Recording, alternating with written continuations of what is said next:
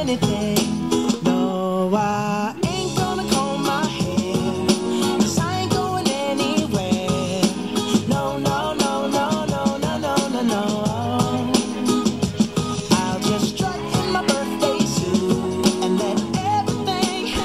this is a time to meet people on campus, especially if you're living in one of the residence halls and get out, get a glow stick, get free food, socialize before study starts. I just wanna lay in my bed.